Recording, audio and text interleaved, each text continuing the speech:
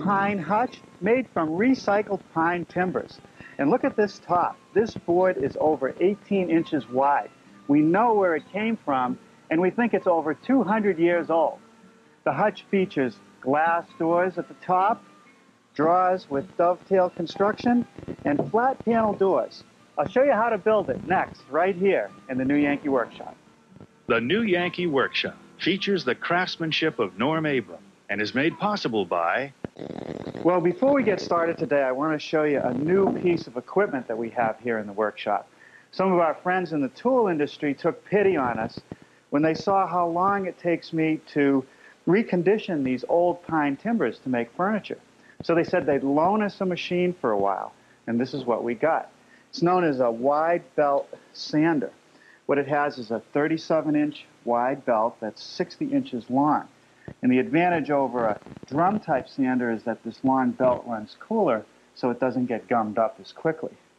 Also, there is a conveyor belt which feeds the material through the machine. And it can run from 5 to 50 feet per minute. So we're pretty excited about having this. Now, before we run this board through the sander, I want to make sure there's no metal in it because any metal will shorten the life of the abrasive. So I'm going to take my metal detector and just scan over it. Make sure there's no bits of iron left. Pretty good so far. Oh, all right, there's one right there. Once we take that one out, we'll be all set. I'm just going to use a nail set and punch it through. Okay, let's check it. That's good. Now, if you'd like to build a version of our old pine hutch, a measure drawing is available, and you'll hear more about that before the program ends. Now we're ready to run the board through the sander. I've set it up with 36 grit paper for the first pass. But before we use any power tools, let's take a moment to talk about shop safety. Be sure to read, understand, and follow all the safety rules that come with your power tools. Knowing how to use your power tools properly will greatly reduce the risk of personal injury. And remember this, there is no more important safety rule than to wear these safety glasses.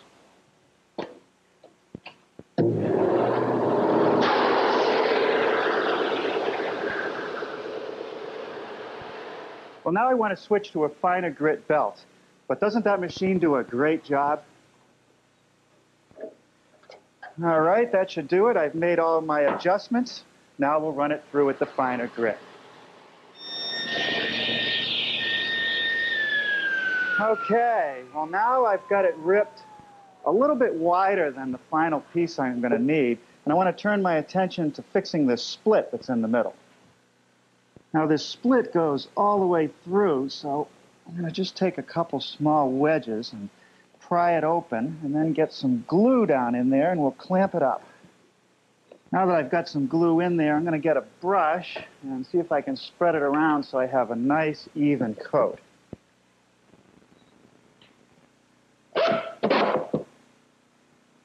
All right, while that dries, let's make a couple dust frames to guide those draws.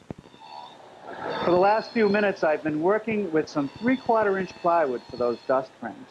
The pieces that go across the cabinet need a quarter inch wide groove a half inch deep. For that, I've got my dado cutter set up at a quarter inch and a feather board to hold it against the fence. One pass through on one edge, turn it around, run the other edge, and the groove is perfectly centered.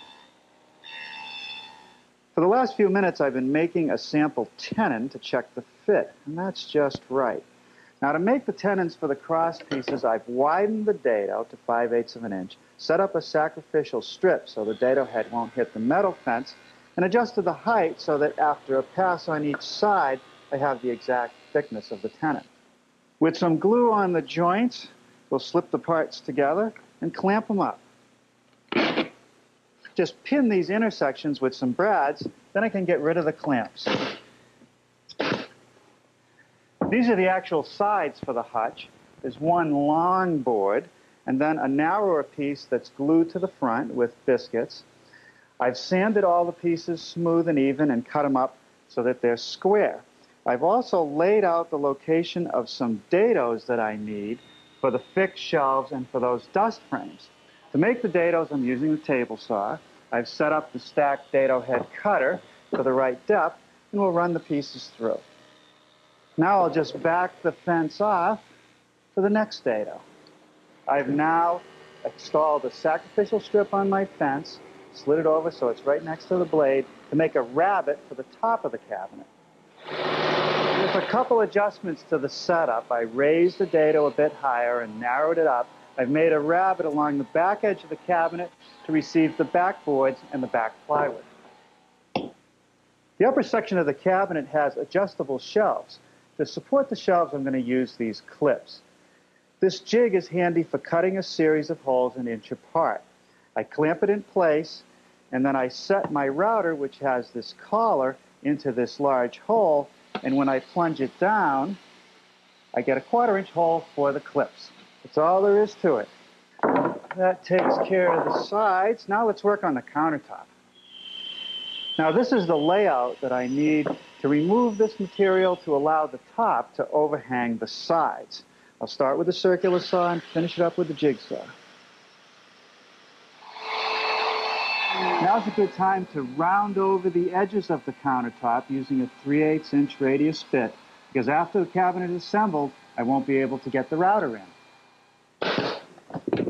Now the shelves and the dust frames are installed in the dados, first by installing some glue right along the edge of the dado, set it in place, and attach it by toenailing some brads through the frame and into the cabinet. Before I put the countertop on, I'm taking the time to put the bottom of the upper cabinet in place. Now I'm ready for that top, so I've lifted the side above the workbench a bit so that I can slip the piece in, and then I have to slide it to the back.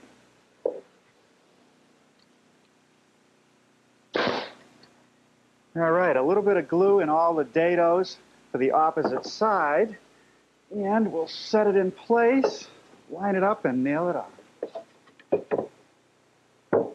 The top piece just sits in the rabbets. Again, I just secure it with some brads.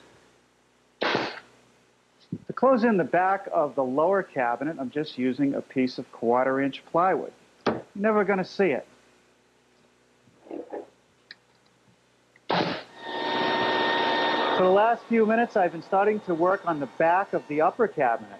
That's going to be made up of the pine boards because they're going to be seen. To join the pieces edge to edge, I'm going to use a tongue and groove joint. And I'm using the same procedure that I used on the dust frames. Before I install the backboards, I want to put this cleat at the top of the cabinet. The cabinet's narrow, and I'm afraid when it's all loaded up, it might be a little bit top heavy. This way we'll have a strong cleat to attach it to the wall.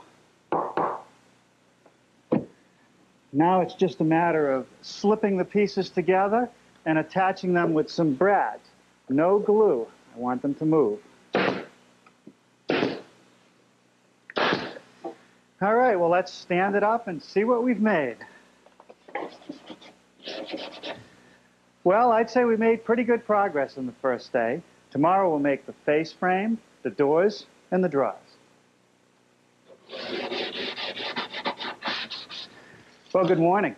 I got started today working on the face frame of our hutch. I machined the parts out of some old timbers that I picked up. Now, they were sold to me as pine, but I really think it's spruce. However, it's a nice, tight, straight grain, so it's going to make a good face frame and good doors. I machined the stock down to one and a sixteenth inches thick, and I've dry fitted all the pieces together. Now I want to join the pieces, and for that I'm going to use pocket screws. To cut the pockets, I have this benchtop machine into which I can clamp the piece.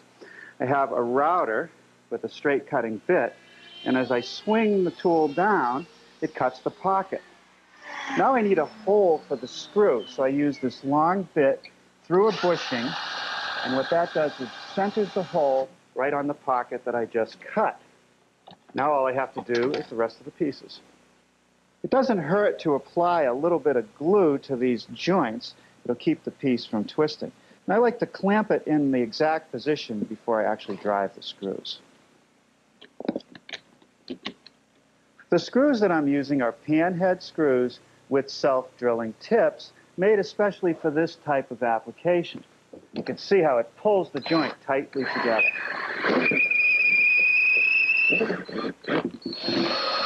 Now you'll notice that on this small center block, which is between the drawers, I had to offset the pockets. Otherwise, they would be lined up.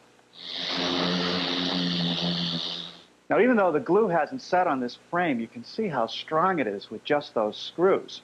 I've applied some glue to the sides of the cabinet and those dust frames. Now position the assembled face frame, clamp it, and then attach it with some brads. Now you'll notice that I'm wrapping these door openings with these small beaded pieces. And how I actually make them is over at the router table. I use a quarter inch beading bit. One pass is all it takes. The corners of the pieces are simply mitered. I apply a little bit of glue before I assemble them. Now you'll notice that up here at the draw openings, I'm not going to use this detail because I have overlay drawers. The face frame for the upper part of our cabinet is made a little bit differently. I machined the beads in the rails and stiles first. Of course, you still could make pieces and apply them, but I thought it would be a little bit faster this way. I fitted the pieces together, and the last piece to do is this center stile. Now I've made holes in the back that correspond to the shelf pin holes in the side using the same jig. With the piece cut to the right length, the first thing I want to do is make a miter cut and then nibble away the material of the bead. To fit the stile into those notches that I just made, I need to miter the corners, just the bead, using the same setup.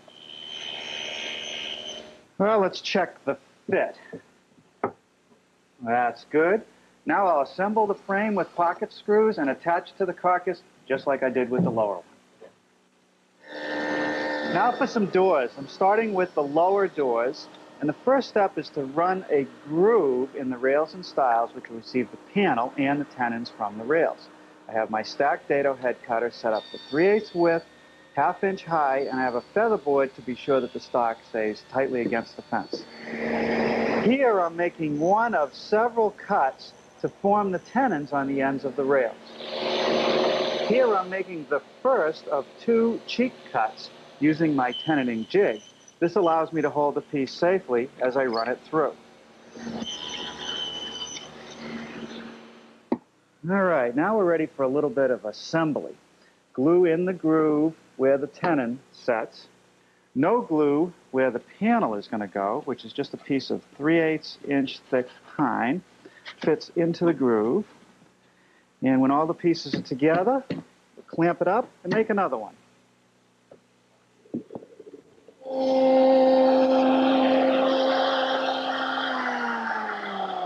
Now I'm ready to start making the glass upper doors, and it's very much like making a window sash. In fact, the router bit set that I'm using is a sash making set. One bit is the one that's already in the router, the other is the corresponding bit, which I'll use a little bit later. I want to run all the rails and stiles through, giving me this profile.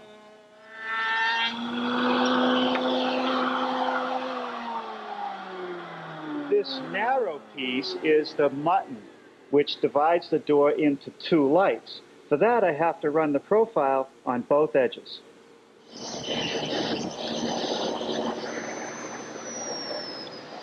Now I'm ready to start making the tenons on the ends of the rails.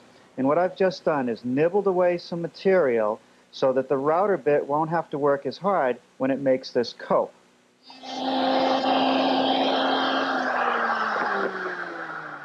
Now that first pass made one side of the tenon and the cope cut.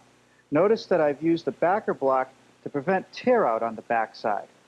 For the tenon on the opposite end of the rail and for the muntin, I need a slightly different backer block.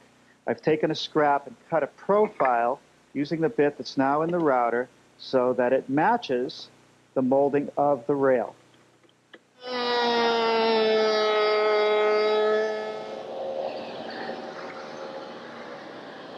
Here, I've made the shoulder cut on the other side of the tenon. And finally, a cheek cut to complete this tenon. The stiles of my top door get mortises to receive those tenons. I'm using my dedicated mortiser with the quarter inch chisel to mill them out. Now let's see how these pieces all fit together. It's pretty good. Now we have a decision to make. I could use two pieces of glass, but it would be difficult to put clips along this muntin. So if I remove this rib, I can then have one piece. I think the easiest way to do that is to just clamp it in the side vise and use my block plane. That should do it. All right, with a little glue in the mortises and on the tenons, we'll put all the pieces together and set it in some clamps.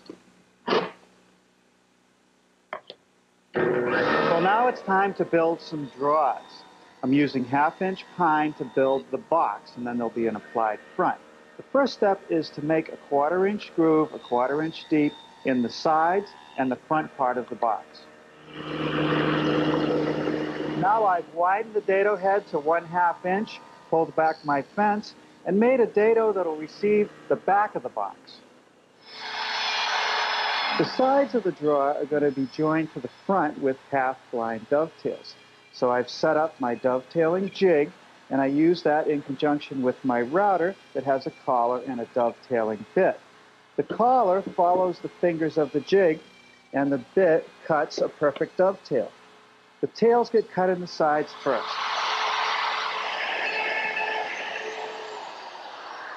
With the draw front mounted in the top of the jig and the finger assembly flipped over, I'm able to cut the pins. The side simply fits into the front. Once you apply a little bit of glue to these dovetails and tap them together, there's not a joint that's much stronger. The back just gets set in those dados, and I'm going to pin them with some brads. Bottom just slides into those grooves, no glue, and I'll attach it with some brads. Then we'll make a draw front. The draw front is a three-quarter inch thick piece of pine, and I'm using this round over bit to give it a little detail along the edge. Now the draw front is attached to the box with a little bit of glue and a few brads.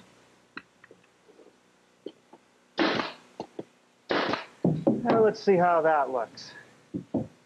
That's good. Let's make the other one.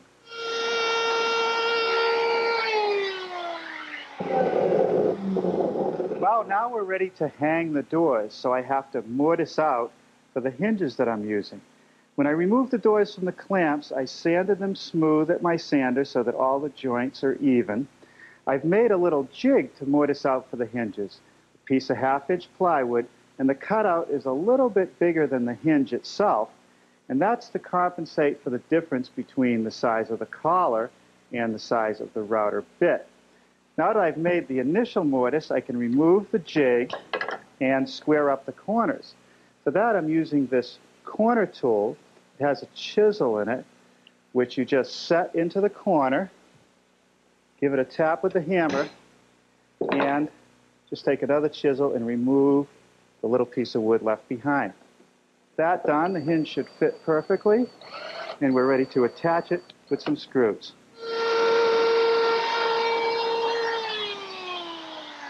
The same technique takes care of making the mortise in the stile. Okay, well that takes care of the upper doors. Now let me show you what I'm going to do to the lower doors. I want to add a bit of a decorative detail. I think the door is too plain with just the rails and stiles. So I want to apply a molding.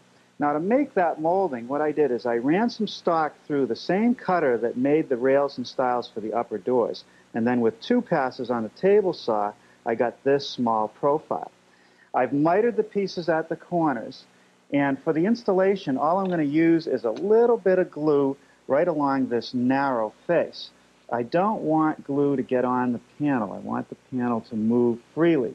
So just a little glue on the edge, carefully set it into position, and do that for all four pieces. No brads necessary. All right, well that should dress it up what I'm beginning to do here is form the cap molding that's going to go around the top of the cabinet. And the first cut is to make this radius right here. For that, I simply used a one inch round nose bit. To complete the top piece, make this round over, which gives it sort of an ogee look, I used a quarter inch radius rounding over bit.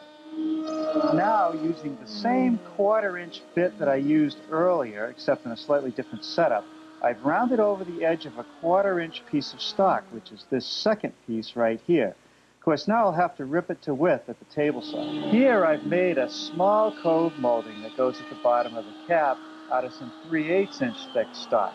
I'll have to rip it to the final width, but to make the profile I use the top portion of an ogee bit. Now I'm ready to assemble various molding pieces. A little bit of glue, and all I have to do is keep the back edges lined up. The cove goes on top of that. And then to secure it while the glue dries, I'm just going to put in a couple three-quarter inch brads. A little bit of glue on the miters, and I'll attach the piece with some one and a quarter inch brads.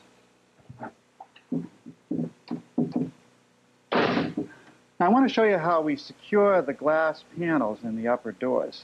Simply fit the glass into the rabbet, and then I have these small clips which you just swing up to hold the glass in place.